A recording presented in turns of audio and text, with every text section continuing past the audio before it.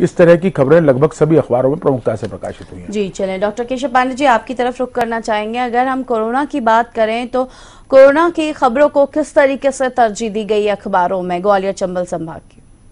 ग्वालियर चंबल संभाग में दुकानदारों ठेले और ऑटो वालों के पास वैक्सीनेशन के प्रमाण पत्र ज़रूरी कर दिए गए हैं और निगरानी जैसे ही हटी है वैसे ही बाजारों में भीड़ बहुत दिख रही है। जाम के हालात पर बनने लगे हैं। ये चिंताजनक है। इसको अखबारों ने बहुत इम्पोर्टेंस के साथ छापा है। प्रशासन का कहना है कि लोगों को पता नहीं है कि क्षेत्र में वैक्सीन कहाँ कहाँ हो रही है। वैक्सीनेशन की जो तीस हज़ार होने थे, वो कुल सोलह हज़ार टीके कल लग पाए। जी। जी। ये दीक्षित जी, एक आखिरी कमेंट आपसे